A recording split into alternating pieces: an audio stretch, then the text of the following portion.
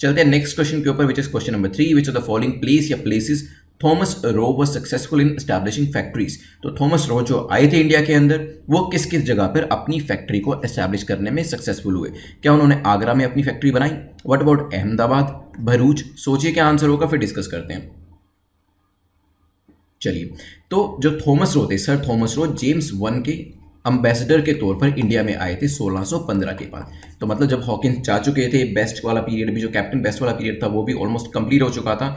तब Thomas Roe आए, यहाँ पर कुछ टाइम वो जहांगीर की कोर्ट में रुके और यहाँ पर 1619 तक एज एन एम्बेसडर वो जो थे, रुके जहांगीर की कोर्ट के अंदर। दो, जो थॉमस रो थे he was unsuccessful in concluding a commercial treaty किसके साथ? मुगल एम्पर के साथ वो कमर्शियल ट्रीटी साइन करने में असफल रहे, लेकिन he was able to secure number of privileges जिसमें क्या क्या था? इसमें फैक्ट्री एस्टेब्लिश करने की परमिशन थी।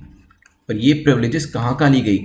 आगरा के अंदर उन्होंने परमिशन ले ली फैक्ट्री बनाने की, अहमदाबाद के अंदर ले ली, भरूच के अंदर ले ली। तो देख रहे हैं नॉर्थ को कवर कर लिया वेस्ट को कवर कर लिया। तो इन तीन जगह पर थॉमस रो को परमिशन मिल गई जहांगीर से कि वो अपनी फैक्ट्री को स्टैब्लिश कर सकते हैं इवन दो कमर्शियल ट्रीटी वो अभी भी साइन नहीं कर पाए थे। तो हमारा आंसर जो होगा वो ए हो जाएगा।